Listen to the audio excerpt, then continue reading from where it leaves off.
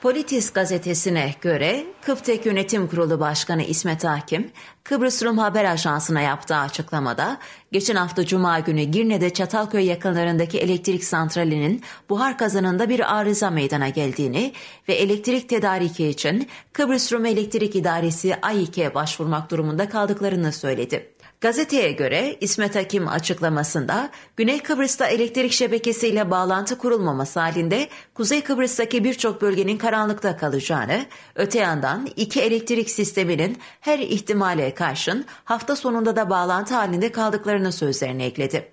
Haberde iki tarafın elektrik şebekelerinin daimi olarak bağlanmasına ilişkin siyasi kararın beklemede olduğu da ifade edildi.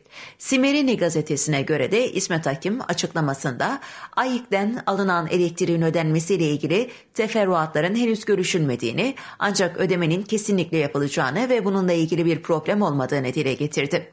Gazeteye göre Kıbrıs Rum İletim Sistemi Operatörü Hristo Hristodilidis, Kuzey Kıbrıs'a verilecek elektrik enerjisi maliyetinin AİK'e ödeneceğini ve ilgili anlaşmanın AİK aracılığıyla yapılacağını dile getirdi.